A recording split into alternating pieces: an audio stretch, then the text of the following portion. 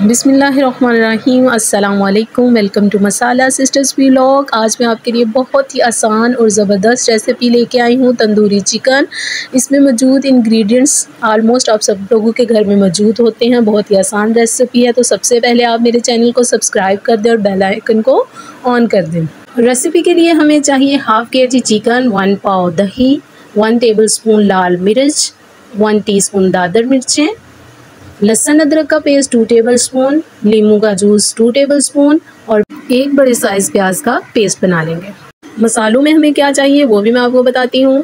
One teaspoon salt one teaspoon red chilli one teaspoon black pepper half teaspoon turmeric powder one teaspoon chaat masala one teaspoon कुटा हुआ ज़ीरा one teaspoon गरम मसाला and one teaspoon कुटा हुआ धनिया। हरी मिर्च, हरा धनिया एंड अदरक। कुकिंग ऑयल हमें चाहिए four to five tablespoon अब हम चिकन की मैरिनेशन कर लेंगे। मैरिनेशन के लिए हमें चाहिए टू टेबल स्पून लहसुन अदरक का पेस्ट ये सब इंग्रेडिएंट्स आपके घर में मौजूद होते हैं। Two tablespoon lemon juice and one big size onion paste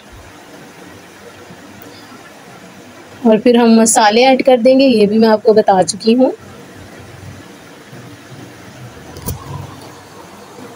अब हम इनको अच्छी तरह मिक्स करेंगे। अब हम इसमें थ्री से फोर ड्रॉप्स कलर ऐड कर देंगे। ये वही कलर है जो आप जर्दा चावलों के लिए यूज़ करते हैं। इस कलर से ये होगा कि आपकी तंदूरी चिकन का कलर बहुत ही अच्छा आएगा। अब हम एक बाउल में एक पाव दही ले लेंगे। दही ज़्यादा खट्टा नहीं होना चाहिए। आपने एक भी स्टेप मिस नहीं करना, वरना आपकी रेसिपी मेरे रेसिपी जैसी नहीं बनेगी। अब हम इसमें red chilli and crushed red chilli add कर देंगे। अब हम इसको अच्छी तरह मिक्स करेंगे। तंदूरी चिकन में स्पाइसी खुशबू के लिए हम दही में रेड चिलीज मिक्स करेंगे। अब हम एक कढ़ाई ले लेंगे, उसमें हम ऑयल डालेंगे और मैरिनेट किया हुआ चिकन ऐड कर देंगे। हमने चिकन को 20 टू 30 मिनट के लिए मैरिनेट किया था। अब हम इसको फोर टू फाइव मिनट के लिए फुल फ्लेम पे भूनेंगे ताकि इसमें जो, इसकी जो स्मेल है वो ख़त्म हो जाए। अब हम इसमें दही और रेड चिलीज का बना हुआ पेस्ट ऐड कर देंगे और फिर इसको अच्छे से मिक्स करेंगे। और इसको कवर करके 10 मिनट के लिए लो फ्लेम पे रख देंगे ताकि चिकन अच्छे से पक जाए। आफ्टर 10 मिनट हम इसमें टू टेबल स्पून मक्खन ऐड करेंगे। आप चाहे तो देसी घी भी ऐड कर सकते हैं।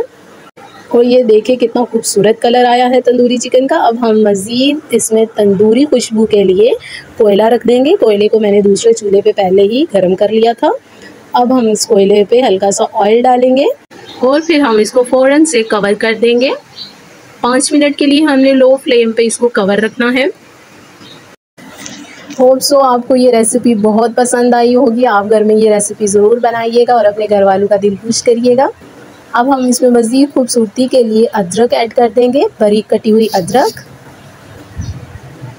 और बारीक कटी हुई हरी मिर्चें ऐड करेंगे और बारीक कटा हुआ हरा धनिया ऐड करेंगे तो ये देखें कितना खूबसूरत लग रहा है हमारा tandoori chicken If you like my recipes, please share your comments, like my video and subscribe my channel. Thank you so much. Allah Hafiz.